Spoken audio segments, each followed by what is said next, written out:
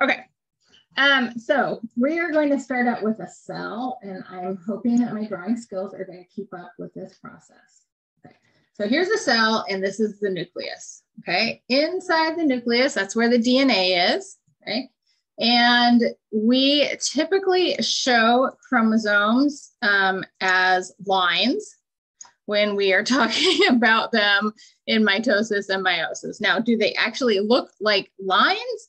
Um, kind of like you can look at pictures of cells that are actually going through mitosis and meiosis and all of the dna is super packaged into these like squiggly masses and so they kind of do look like lines um, or like chubby spaghetti noodles or something like that or maybe some udon or something. Um, but we draw them as lines and so what I'm going to do now is uh, draw two chromosomes that are roughly the same size but different colors. And the reason why we have two different colors is because, so this whole process is circular, right? This cell is going to go through mitosis to make new cells, but it also was created at some point, right? And the way that this cell or its way back, back, great, great, great, great grandparent cell was created. Um, meaning in that in that person, the person started as a fertilized egg. The way it was started was that it got some DNA from the sperm, right? Like we all started out uh, as a uh, sperm and egg coming together. So there's a sperm. This is going to be the egg with its green chromosome. And those came together during sexual reproduction to make a cell. Okay. Um, and that's why we show what we show different colors to indicate a maternal chromosome. So right now I'm showing the green as maternal and uh, the purple is paternal. So that's what um, the different colors are. Okay. Does it really matter for like how the process of meiosis happen meiosis happens? No um, but it is good to keep uh, straight. So hopefully that makes sense. Or if it doesn't, hopefully it'll start to make sense. Okay. Some of this stuff is kind of like, once you hear it a couple times, then it starts soaking in, but not necessarily the first time.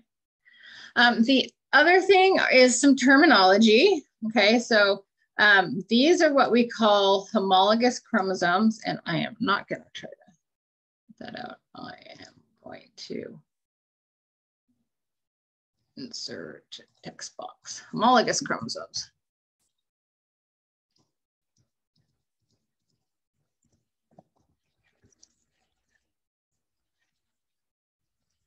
Um, so homologous chromosomes is a term that some people like, it can take a while to get the idea of it, but basically homologous chromosomes are two of the same chromosome type, uh, and you've got one from mom and one from dad. So because of sexual reproduction, find some slides. I think I have some slides on. Um, hopefully you remember from when we were talking about DNA. Don't I have any slides with it? Ah, there we go. Um, so this is like a picture of someone's actual chromosomes. Um, and as you can see, so this is from a human, we have uh, 22 pairs of chromosomes that are the same size of each other. Um, and the idea is that one came from mom and one came from dad. And so they're homologous pairs or homologous chromosomes. Um, they do not carry identical genetic information, but they do carry genes for the same traits, right? And this is getting into genetic stuff, which we're getting into next week. So it's good to start thinking about it. Um, for every gene, there can be different versions of it. Um, it's really easy to think of if you think about eye color, which um, eye color is not actually determined by just one gene, but we could kind of really oversimplify things and think, okay, like I have eye color. Everybody has eyes. Well, most people have eyes and um, have eye color. And say you could have brown eyes, you could have blue eyes, you could have green eyes, right? So it's different versions of the eye color gene. So that's one way to think about it, or different alleles of the eye color gene. So if you think for every gene that we have, for every part of the DNA, including the regulatory sequences and the non-coding sequences, uh, you get one version of that from mom and one from dad. And those chromosomes that carry the same, gene, same genes, um, but not necessarily the same alleles, are called the homologous chromosomes. So we have 22 that are exactly identical to each other.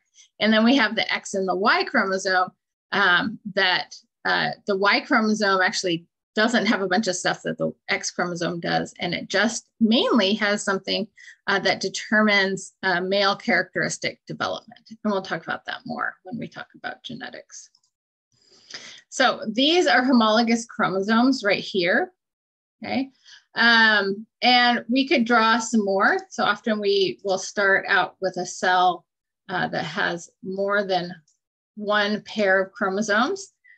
In our drawings, we don't usually go above having two pairs of homologous chromosomes because it's just confusing and there's just too many chromosomes um, to look at. And I actually should make this a little bigger if I can. Tell me, you guys can uh, tell me can see things okay or not. Um, and so the homologous chromosomes, we could now say, I'm gonna highlight in yellow, these two homologous chromosomes. I know that because they're the same size. And these two are homologous chromosomes. I know that because they're the same size. Okay. Um, and right now we have two maternal and two paternal chromosomes, right? We said the maternal ones are green and the paternal maternal ones are green, paternal is uh, purple. Okay. Okay, so that's homologous chromosomes. Um, so, and then there's something called ploidy. Either cells are diploid or haploid, and that has to do with how many copies of each chromosome you have. Okay, um, so if you have two copies of each chromosome, that means it is diploid. Okay. So basically, if there are homologous chromosomes present, then that cell is diploid. Um, and that breaking that word down might help you remember it. So di means two. Um, remember we had disaccharides because they had two monosaccharides stuck together. And then ploid is referring to, it's a word that basically is referring to chromosomes. I'm not sure what the exact like translation is, but so this means two chromosomes. It doesn't mean two chromosomes total. It means a pair. Okay. You could have an organism, and some plants actually have this that are triploid or even hexaploid, where there's six copies. Lilies have a lot of chromosomes, um, chromosome, uh, like a lot of homologous chromosomes for a lily plant. They would have six uh, of the same chromosome, six, six actual chromosomes, but we only go up to having two. Um, and then, so this cell would definitely be diploid because there are homologous chromosomes present, right? So we could uh, draw a circle around the homologous chromosomes. So here's a pair of homologous chromosomes and here's a pair of homologous chromosomes. Okay. So if you can do that, then it is definitely going to be a diploid cell. Um, and if there's only one copy of each chromosome, that is something called haploid. All right, and haploid, so if we were going to turn this cell into a haploid cell, get rid of that, we would need to get rid of some of these chromosomes, right? So if we got rid of those, then it'd be haploid. Uh, notice that these are haploid right? So eggs and sperm are always haploid, and other cells that are not eggs and sperm, they're called somatic cells, basically all the other cells, um, are always diploid in humans. Um, it's a little different for some other organisms, but most organisms follow this same plan of like the uh, the only cells that are haploid are the ones that are for reproduction. So we call those gametes. Those are the eggs and sperm, generally called gametes. All right, so that takes care of some terminology. And I know I'm spending a lot of time on the terminology, but like if you don't have a good grasp of the terminology, then when I start throwing these terms around, nothing's going to stick because you won't have the framework. Um, so you got to, you do have to have the terminology first. Um, so, and then there's something else called sister chromatids. Before this cell can replicate and make copies of itself, it first needs to get enough DNA to, to spread out into new cells. And so what happens is that each chromosome actually replicates itself. Now, we're not, your book does have information about this. I've chosen to skip over the details of DNA replication because um, it gets very confused in people's minds with uh, gene expression because it looks kind of similar. And I found teaching those things side to side just made it impossible for students um, many times, to, especially since we go so fast, to separate them out. And so I decided not to cover that in detail, but instead to just say like it replicates and then you have two copies of it. And the interesting thing is they stay stuck together. So you have these two chromosomes and they're stuck together at the center at something called the centromere. And centromere is actually really important because it's where spindle fibers grab the chromosomes to move them around in the cell. Um, and then you have these this new term called um, sister chromatids. So chromatid refers to when you have this replicated chromosome. Okay, so this is one replicated chromosome. Um, when you have chromatids, it's just one of those. So the sister chromatids are, let's see, good way to indicate it. So this is one sister chromatid and this is the other. Interestingly, we still call this one chromosome until they're actually separated and then there's two chromosomes. Um, so this is one chromosome and this is one replicated chromosome, okay?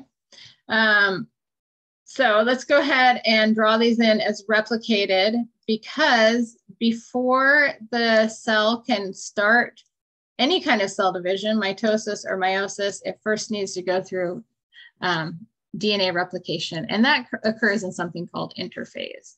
So interphase is um, broken up into different parts, like part of it, it, when the cell is just doing its job. And some cells just stick, stay there. They just do their job. Other cells that are uh, get the signal or are destined to divide, they will get um, they will go into something called S phase, where they replicate their chromosomes. Right, and then when that once that's done, they go into something called G2 phase, where it's um, the cells basically like checking like am i big enough do i have everything did my dna replicate properly am i ready to start dividing Okay.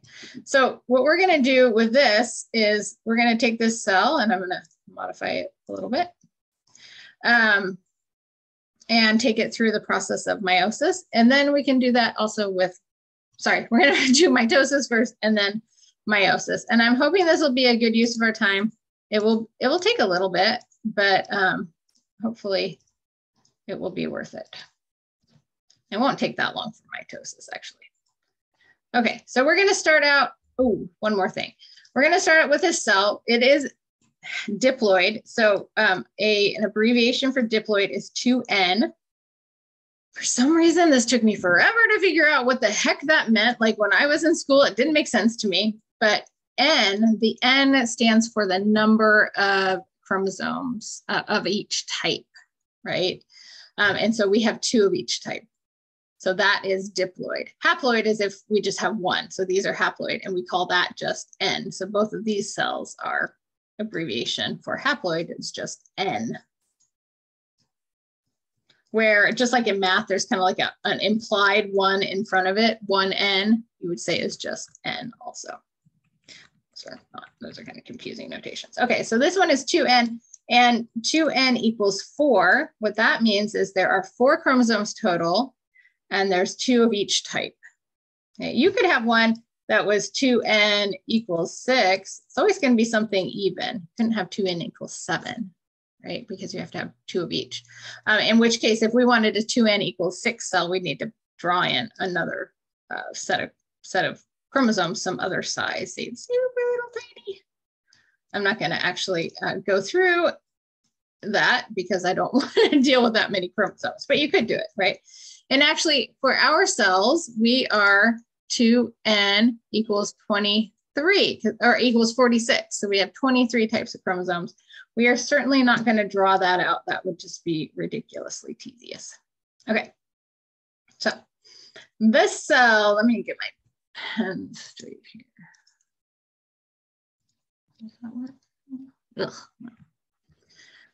be kind of annoying. Oh well. Um, so this cell is um, what you would say it's like at the end of interphase and it's ready to go into mitosis. We know it's ready because it has replicated cells.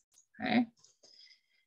And so then it's going to start. And the first thing that's going to happen is it's going to go into a phase called prophase.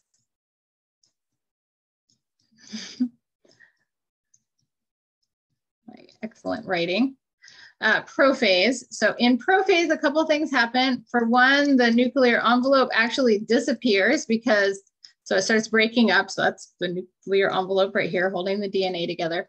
Um, it starts breaking up and disappears. The whole cell is given over to this, this process of um, separating the DNA, okay? And then we have our chromosomes. They're going to um, stay separate from each other. The homologous chromosomes don't associate with each other like they do in meiosis.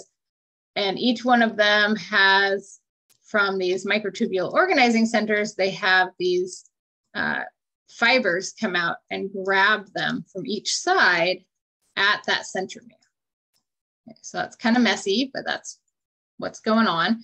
And then the, the what those fibers allow the cell to do then is to move the chromosomes around. Okay. Um, and the first thing that they do is move the chromosomes to the center of the cell. Um, and this is the next phase is called my um, metaphase.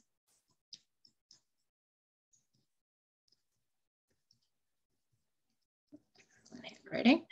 Um, and there, those um, the chromosomes are aligned at the center of the cell um, and they can align in kind of like any order it doesn't matter uh, the homologous chromosomes are not associated with each other and if you understand meiosis you will know why i'm saying that um, and those spindle fibers are still attached right so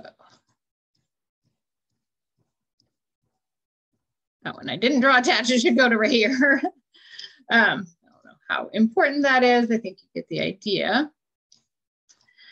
So that's metaphase. So you always can tell a cell is in metaphase when cells are, or when the chromosomes are aligned at the equator. You could show it going up and down, diagonal, sideways, whatever. People call it a metaphase plate, um, but that's actually not like a real structure. It's just the middle of the cell. Okay. And next, uh, the cell is going to enter something called anaphase. I run out of room slide. In anaphase, uh, those spindle fibers are going to start shortening. Those fibers are going to start shortening, and it's going to actually pull the uh, sister chromatids apart um, and towards the poles. So one thing to keep in mind is this process is very continuous, right? Like we're showing a little snapshot of each phase, but really once a cell starts mitosis, it's just going to proceed through it, okay? And anaphase is actually going to uh, occur as soon as the chromosomes begin to be pulled apart. Um, let's see if I can do an okay job of drawing this uh, by the spindle fibers. So you could draw anaphase in kind of multiple, uh, multiple spots where the chromosomes are, if you will. Okay. And the reason why I've shown them in that shape is because they're they're kind of like little strings, right? Or like floppy spaghetti, and they're being pulled at the center. So if you put a piece of floppy spaghetti down um, on the table and you pull it from the center, that the ends are going to trail behind. Or if you did that in water, the ends would trail behind, and that's what's happening. So these are going to be moving. They're all moving in the direction of the microtubule organizing centers here, which are at the poles of the cell. And I did not name this. This is anaphase. Oops, wrong color. That's okay.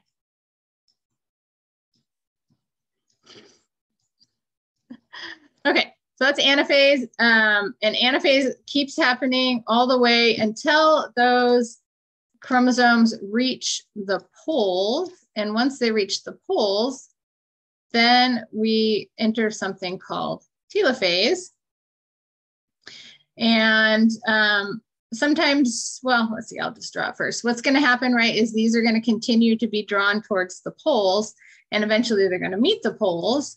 And then you'll have on each side, you'll have uh, a long green maternal chromosome and a short one, and a long purple paternal chromosome and a short one, right? And then the nuclear envelope is going to start reforming around each of those. So this is telophase. It's kind of at the beginning of telophase. What's also happening is uh, it's starting to pinch off in the middle and you're getting a division between these two cells. That's called cytokinesis. So usually I just kind of say telophase and cytokinesis. They are technically two different things. Oh my, that was bad handwriting. Um, cytokinesis is technically the division of the cytoplasm. Um, and whereas telophase is the, you know, coming together of the chromosomes at the poles and that nuclear envelope reforming. Okay. And then at the end, you're going to get two new cells. Okay, they're each going to have a nucleus, and in that nucleus, they're each going to have um, uh, two copies of each chromosome, one maternal and one paternal. Okay, and so you get at the end, you get two haploid, sorry, two diploid cells.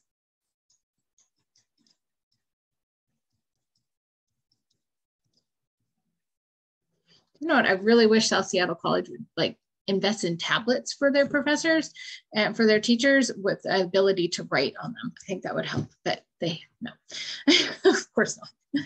Um, that would be an amazing thing. Um, so we get two diploid cells, we call them daughter, daughter cells. And the thing to remember is that they're actually identical to the one that started. Now, might not look identical because this these ones don't have replicated chromosomes, whereas these ones do. But these ones only have replicated chromosomes, or this one only has replicated chromosomes because it started out in G2 phase of interphase, ready to replicate the cell that that it be, before it looked like these. Okay, so these are actually identical to each other genetically. They each have one uh, purple, long purple, one long green, one short purple, one short green or you know like the full complement of of um, chromosomes. We start out with the diploid cells, we end up with diploid cells, 2n equals 4 for all of these, okay? And in fact, we actually, so this is called the parent cell, and these are called the daughter cells, but interestingly, the parent cell, unlike humans, right, you know, like when we reproduce, we don't like divide ourselves in half and suddenly, you know, now we're one of the offspring. Um, that would be asexual reproduction, we don't do that. But that's what's happening here. So the parent cell divided itself and now is two daughter cells. And then each of those cells could go on to replicate again. Okay, so this is mitosis in a nutshell.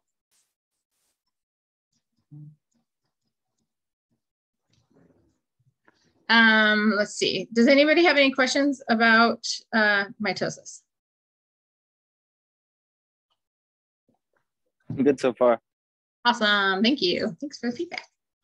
All right, um, let's go to a new slide. So it'll be harder to do um, meiosis, um, but all that stuff that we just learned about the homologous chromosomes, the sister chromatids, the replication, all of that um, is identical. Um, when we talk about, uh, let's see if I can grab this. Let me grab that um, when we talk about meiosis. Okay, so we can start with the same cell, right? Um, the goal now, when we talk about meiosis, um, is to make gametes. And remember, gametes have to be haploid. Why do gametes have to be haploid? Well, when they combine, they need to make a diploid cell. Um, if the gametes are not haploid, if they were, say, diploid, then when they combine, then you double the chromosomes.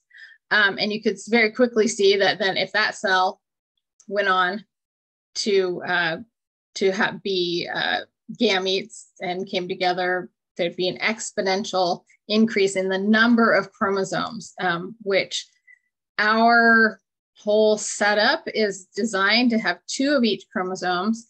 And sometimes uh, mistakes do happen in meiosis that can result in people ending up with three chromosomes of certain types.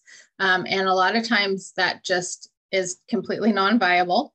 Other times it is viable, but can cause some changes to the person um, uh, who has that genome.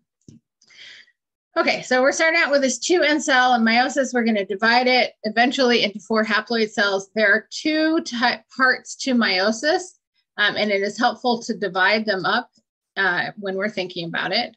Okay, in meiosis one, um, I'm just going to type this out. My, okay, uh, meiosis one, the goal is to separate uh, the sister chrom uh, the homologous chromosomes. So in other words, to go from a 2N state to a N state. Okay. So that's the point of meiosis one. Um, that's good to keep in mind um, as we go through this. Okay. All right, I'm going to zoom in and hopefully make this work. All right, we still have the same phases of, uh, of cell division. So we have prophase, metaphase, anaphase, telophase. However, when we are doing meiosis, we have prophase one, metaphase one, anaphase one, telophase one for meiosis one, and then the same, but with a two behind it for, uh, for meiosis two. It's kind of nice because you just have to remember those terms once, but it's also kind of bad because there's so much overlap, right? You're like, now I have to use the same terms, but have different definitions for them, basically, of what happens. So that's, you know, that's a pretty big cognitive load for your brain to figure out. Um, so we're starting here with the cell that is going to be in uh, just as before. It's going to be um, at the end of uh, interphase past the point where it's replicated its chromosomes. If it doesn't replicate its chromosomes, it can't go through cell division. And the first thing that's going to happen is uh, prophase one. So I'm just going to say P1 because I can't write things out very well. And in P1 of metaphase one, uh, the, the, what do we call it? Nuclear envelope is also going to disappear. Um, we do have the spindle fibers coming out, but very first and most importantly, what happens is that we get the homologous pairs of chromosomes, uh, almost said hooking up, which would maybe not be completely appropriate, linking together. Um, they buddy up with each other. So they find uh, their pair and they uh, stick together. And so we have these homologous pairs forming. And then now they act as a unit. Okay. Also, interestingly, something really important happens that uh, we're not going to focus on too much because it kind of complicates things, but something called crossing over happens between these, and the ends of the chromosomes like break off and swap. Um, so, like in other words, a little bit of this green uh, maternal chromosome would pop over and switch places with a little bit of the purple paternal chromosome. This is actually really important because it increases genetic diversity with possibilities within offspring, which is highly favored by evolution and natural selection. Because if you put a lot of offspring out there um, with a lot of different possibilities for their uh, for their genes, for the versions of the genes that they have, um, then there's more possibilities of having at least one survive. And so, eh, ways to increase uh, genetic diversity within uh, the offspring have been highly favored by natural selection. So that's why we have that. So we have the crossing over. Um, and then of course we have those spindle fibers attached. Now they're gonna be a little bit easier to draw because they're just gonna attach onto here. Okay, next up, we are going to have metaphase. I'll say meta, meta one. I don't want to put M1 because that's what we call meiosis one. So metaphase one is also just like when we talked about it for mitosis, we do see the um, chromosomes line up at the center, but importantly, what's lining up now are the homologous chromosome pairs, okay? And so they are gonna line up at the center. And one thing to note is that each chromosome pair is just gonna come in and line up in the center. Um, and that's, I didn't do a very good job at the center, but you get the idea. Um, in a random way, and it's called random assortment, if you might have read about that. Um, I sometimes try to stay away from too much terminology because it can get confusing. Um, but what that means is like it's equally likely that the maternal chromosome end up on one side for this chromosome pair and on the other side for the other chromosome pair. That's as equally likely as the scenario where um, the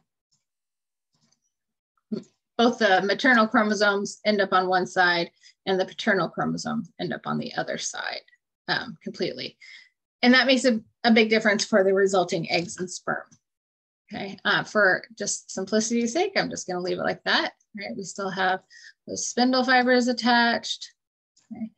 And then just like we had um, in mitosis, we're gonna have anaphase, where those get pulled apart by the spindle fibers. So this is anaphase one. The difference, of course, is that uh, these are gonna get uh, the homologous chromosomes are going to be separated. And so what that means is these two green ones, and I'm just going to draw this X's, get pulled over to this side towards one pole, whereas the, the purple ones, the paternal chromosomes, are going to get pulled over to the other. I'm not doing like the best job of maintaining the sizes here, but hopefully the general idea is coming across. Okay, so the most important thing, this is probably like the most important thing that happens in meiosis. Got those homologous chromosomes paired up and now we separated them, right?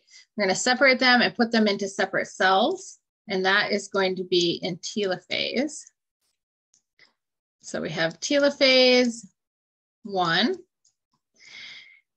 And often you're shown cytokinesis happening, um, but I'm going to say that it doesn't always happen. Just so you know, like in sperm production, it happens. Sperm production happens really fast. Males produce millions of sperm a day, and so there's a.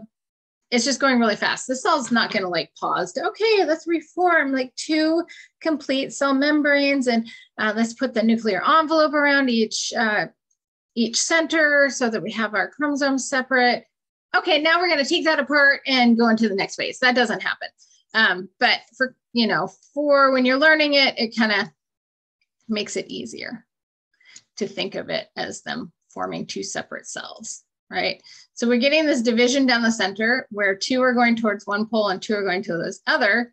These two, we're going to say ended up in this cell, right? So now I'm showing it after telekinesis or after cytokinesis and uh, telophase. Okay, and we have, I just said the nuclear envelope doesn't often reform, but I'm going to show it doing that way. And these two are going to end up in this cell over here. Okay. I'm going to erase that. And like I said, remember it could have ended up where they swapped places. And so in that in that case, we'd end up with like a big big green and a little purple and um, and a big purple and a little green, but I'm gonna draw it this way. Okay, so that's the end of meiosis one. Okay, have we gone from a diploid to a haploid stage yet? Can you guys tell me in the chat what you think? Have we, have the cells uh, gone from 2N to N?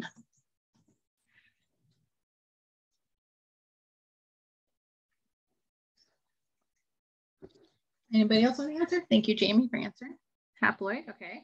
So when you say haploid, you'd say yes to that answer. Anybody else? Anyone? Anyone?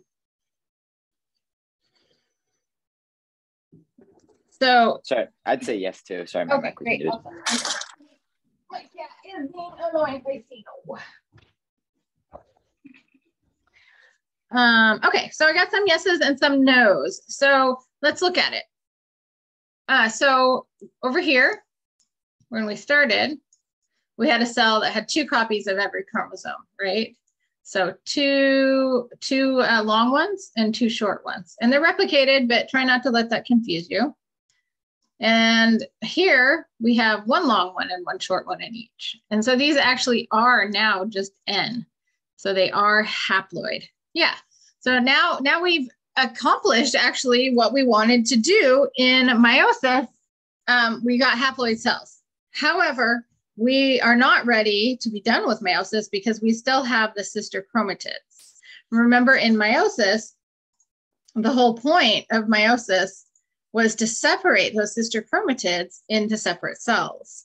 And so that when you end up with the, the outcome, you have, you don't have replicated chromosomes anymore. You just have a regular single chromosome.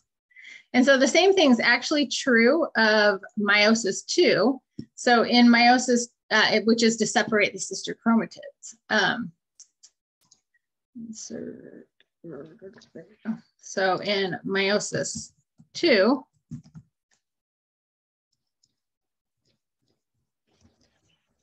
two, uh, goal is to separate sister chromatids.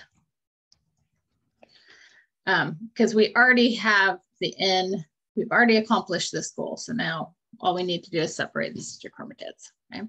So I'm gonna see if I can grab these, get rid of that. Um, doo -doo -doo.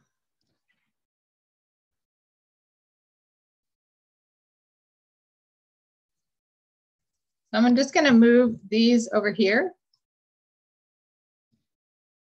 Not that though.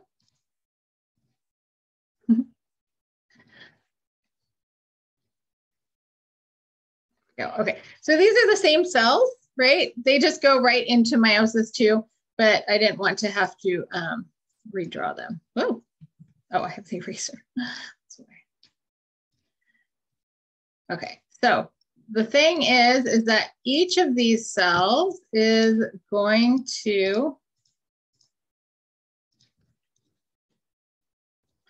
um, act on its own to go through, sorry, uh, to go through meiosis two. Okay, so each one is going to go through meiosis two. So I'll, I'll draw that for each one of them. And they're going to go through the same uh, parts. They're going to go through prophase, metaphase, anaphase, and telophase, but we'll put a two after it. Okay. So the first thing uh, is to enter uh, prophase two. Okay. P2. Um, if the nuclear envelope has reformed, this is when it would break down.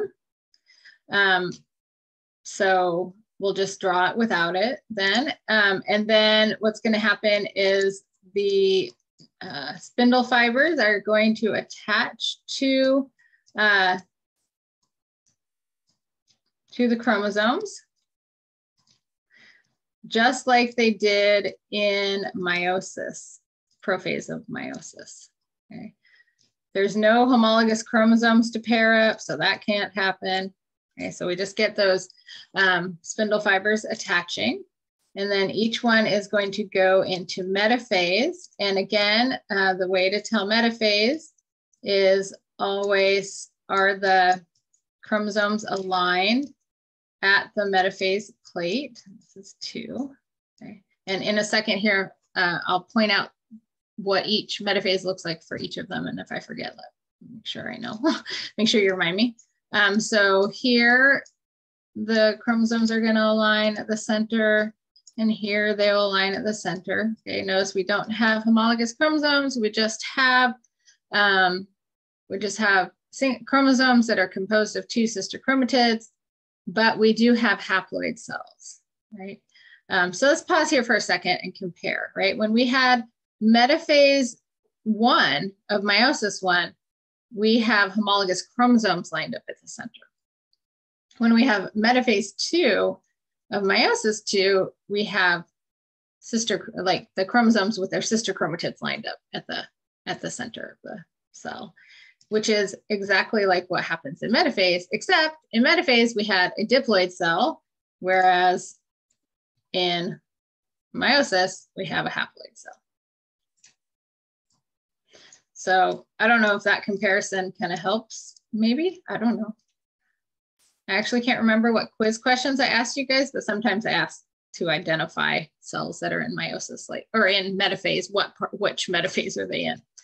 Okay, um, and then we have um, anaphase two is going to happen, and there the sister chromatids are going to be pulled apart,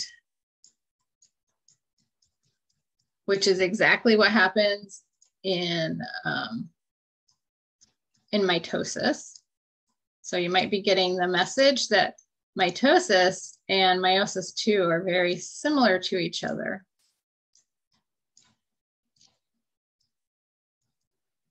Those spindle fibers, okay. Okay, and so now we're gonna get division down the center of these cells, right? So I'm gonna kind of, you know, do the hand waving magic and, um, you know, so these are going to get divided down this, it's get divided down here. And each one of these is going to form a new cell. So I'm going to show this at the end of telophase. So each one of these cells is going to give rise to two cells. Each one of these is going to give rise to two cells. And we're going to have each will have one long chromosome right here and one short, this one here, right? So um, these chromosomes here are going over to this cell. These chromosomes here are going to this cell.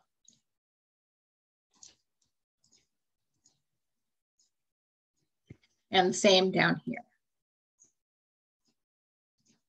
So we have one long and one short and one long and one short. I did not give myself enough room there. Um, so you might remember when we set up here that these could align like this or equally likely to have the purple on one side, like this little purple be over here. If that did happen, we would have a different outcome. We actually wouldn't have, we would have a green with a purple, a green, a big, green with a little purple and a big purple with a little green. Further, uh, we talked about crossing over and the ends switching. So that would happen too. And if we tried to show that, we could draw little colors at the end, which sometimes I do, but it's very, very tedious and kind of confusing. Um, so if you get this part, that's enough. So telophase two and cytokinesis, let's say CK. Okay, and now what we have here, of course, we have haploid cells. We started out with haploid cells, right? So we have two, or excuse me, four and, wait, that's confusing, four haploid cells. And then these can be used to combine with a haploid cell from another individual in sexual reproduction to then produce a diploid um, cell. All right, question about meiosis.